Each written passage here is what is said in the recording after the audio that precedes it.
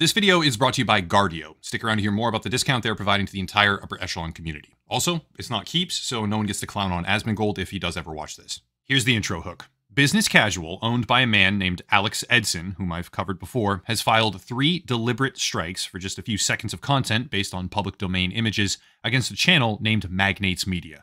Those strikes have initiated a countdown, at the end of which his entire livelihood and a very successful channel he has devoted the past five years of his life to will be deleted full scale. I consider this to be the fraudulent attempted assassination of a competitor's career, and eight months ago, I tried to warn people. All right, the title is kind of extreme, I get that, but I'm pretty sure it's justified, so please hear me out. Let me know at the end if I'm right about that. Here's the situation. A while ago, I covered a lawsuit against YouTube as a platform by a channel named Business Casual. Not just any lawsuit, this lawsuit was being pursued by a man named Alex Edson, who recently bought the YouTube channel. He was not the original creator or the person behind the videos, and had now decided that a few seconds of his footage served as justification for taking down the entire Russia Today YouTube network. Alex Edson, in a rather long, high production value video, which, contrary to what he says, was not being suppressed at all, and many of you have likely already seen, went on the attack and asserted that YouTube was undermining America and helping the Kremlin because a channel had used a few seconds of their copyrighted parallax animations. This is the part where I tell everyone to go watch a bunch of additional videos for context. I know that's annoying, so I'll try to summarize in a very, very fast way. There are three videos that I made down below to back up every single one of these claims, piece by piece, as well as a link to the original Business Casual lawsuit video, but here's the gist of it for people that don't want to sink the time into doing that. Alex Edson bought the Business Casual channel some time ago. Most of the original content there was not made by him. Once he owned it, he discovered that RT, Russia Today, more specifically RT Arabic, owned by TV Novosti, had used a few clips from his videos and decided to do something about it. He got very, very angry. Fine by me, whatever, who cares. His chosen attack vector was to say that they had infringed his copyright egregiously and deliberately. He filed strikes, conversed with RT Arabic in emails, got them to admit that they had used his content, and then went for the throat. One problem, he actually put himself on record in an affidavit undermining the entire premise of his own lawsuit because there have been network level strike parameters set out by YouTube since 2019. More details in my old videos. His lawsuit was an absolute joke. Setting that aside, because it doesn't affect me, nor do I care what happens between a copyright troll and a Russian state sponsored media outlet, that's the least of my priorities, we now have to look at his other lawsuit and general claims. Alex Edson wasn't just suing RT, Russia Today, trying to get every single channel of this global organization banned outright because they used a few clips that were a few seconds long. He was also suing YouTube itself. Why? Well, because he thinks that YouTube is deliberately profiting off of copyright infringement. And you know what? Maybe. I don't know. There definitely are a lot of bootlegged movies and shows, but then again, those get shut down over time because operating a platform at scale is an imperfect thing. Still, YouTube can be criticized for that, no question, absolutely. So, what's the real problem? The real problem is that in his own lawsuit, Business Casual's legal team argued something very specific, which is critical to understand. For context, I went through all of their shit, but one very particular segment stood out to me, and I have to read it fully here for everyone to listen to. From the court, quote, let me ask you another question, Mr. Duff. The way that you describe it, it seems that it's just as easy to game the system from the front side as from the back side. What I mean by that is, it sounds like it's just as easy for a bad guy, let's say in this case, the defendant, to affirmatively or preemptively file a notification of infringement against you and then file two more within 90 days to give you three strikes. So, what's to stop a bad guy from doing that if all that has to happen is that you just file a notice of infringement? In response, Mr. Duff, part of Business Casual's legal representation, said, quote, Your Honor, that is an excellent question. You are right. Bad actors are always going to try and find a way to game the system. The problem here is that the adjudication requirement is not only included in the Digital Millennium Copyright Act, if you read the other provisions of the DMCA Safe Harbor, Section 512, it's clear that Congress did not want parties to have to sue to enforce their rights. So while it may be that the system could be gamed on the other side, that's how Congress intended it to be. End quote. That right there is business casual arguing that simply because he filed some strikes, it therefore means that YouTube needs to terminate the entire channel without him proving anything in a court of law.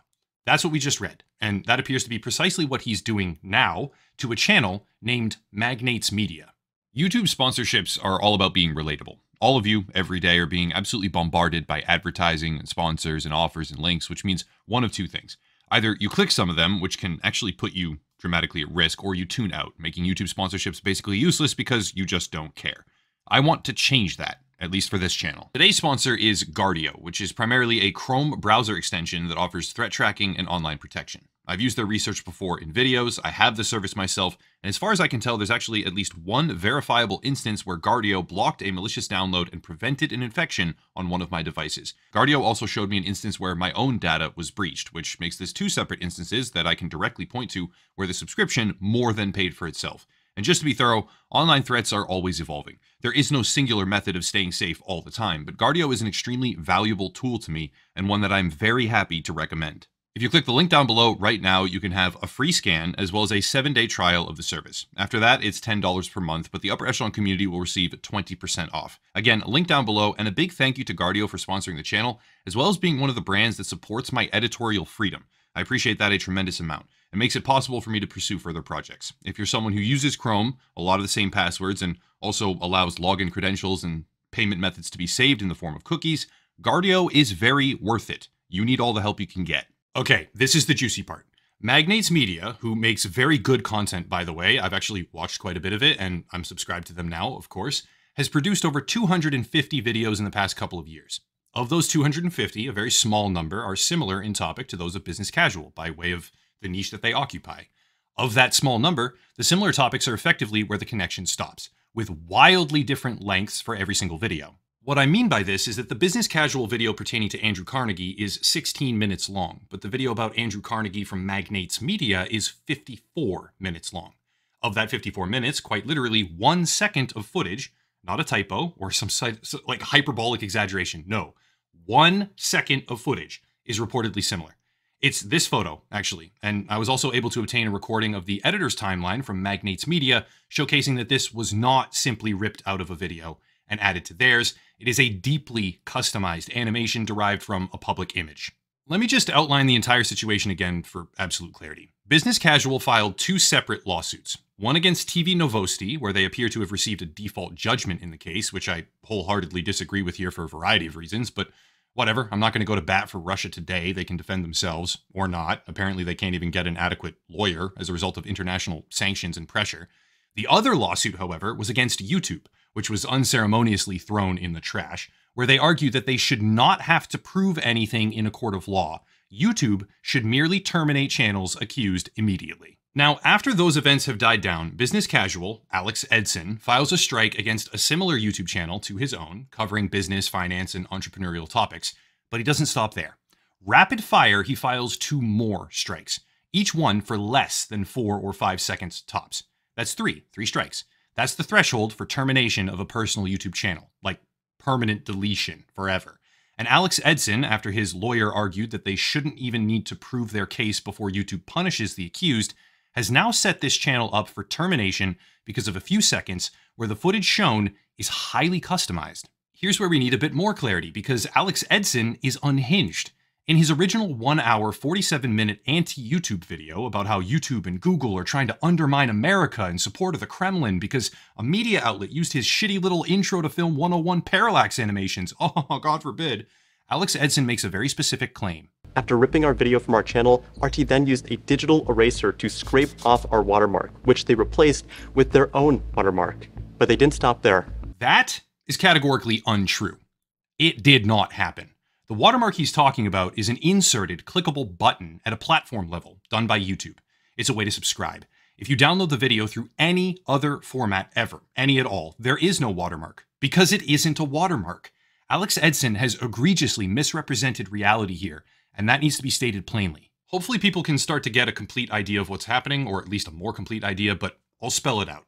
Because of a collective six seconds, three in the first strike, one in the second strike, and two in the third, Magnates Media is about to have his entire channel terminated. Let me show you one of the precise images that we're talking about here. I want there to be no dispute on this. Alex, you're not weaseling your way out of this. I swear to you, you're not.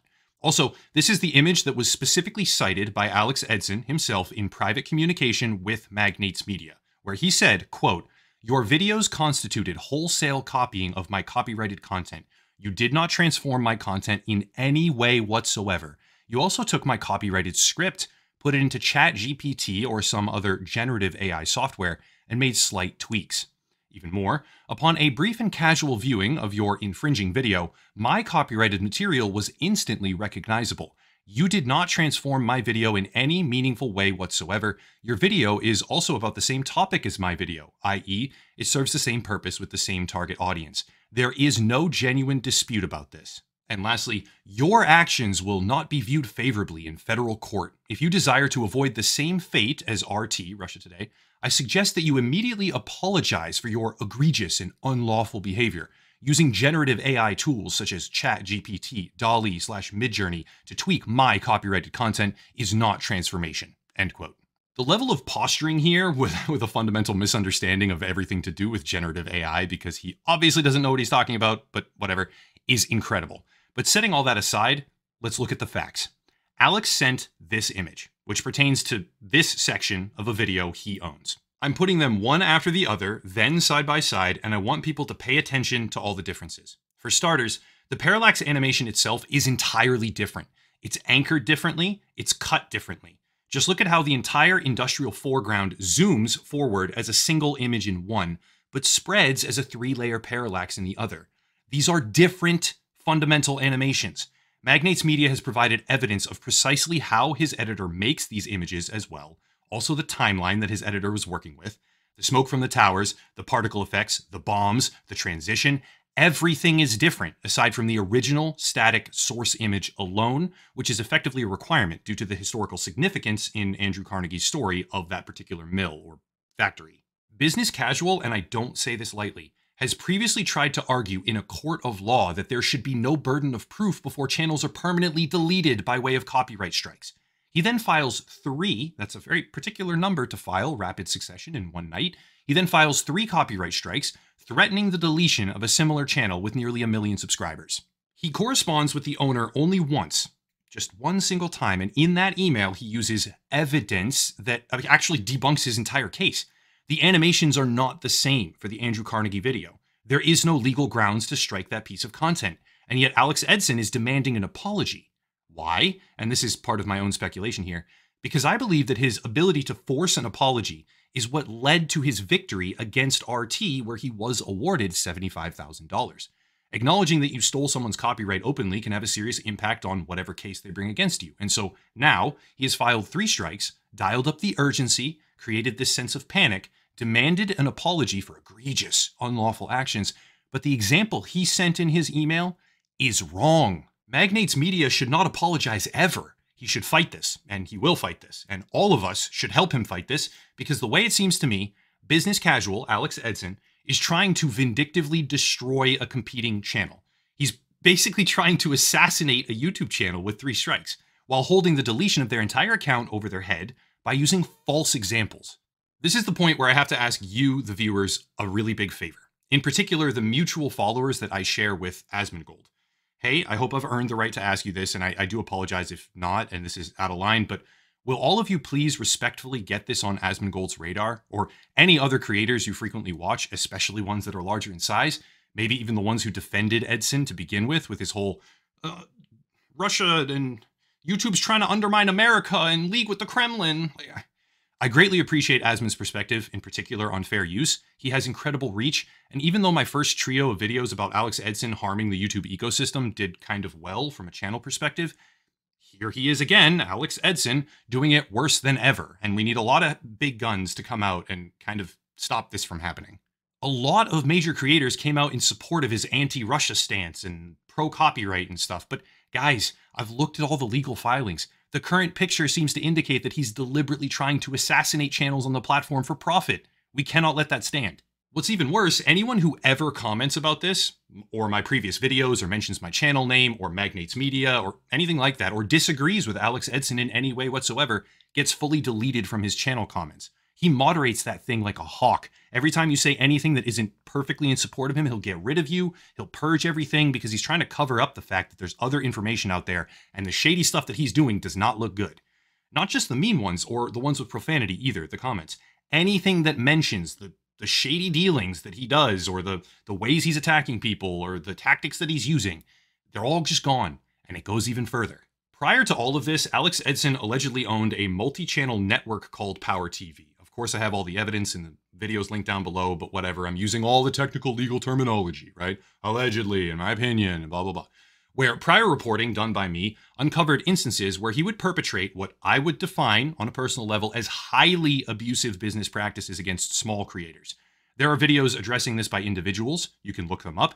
There is a highly detailed Reddit thread summary. And of course, my videos from before that are linked down below. Yes, yes, go watch those. But the gist of it is that Alex Edson appears to be seeking out instances where similar content is used by YouTubers compared to the material he purchased, not made, on the Business Casual channel, filing three rapid fire strikes, even ones that are falsified, to get those channels deleted, then demanding an apology, which, again, mm, might have strings attached. After the apology, evidenced by his track record with TV Novosti and RT, he will leverage it into a copyright lawsuit to demand as much money as possible from whoever he's targeting.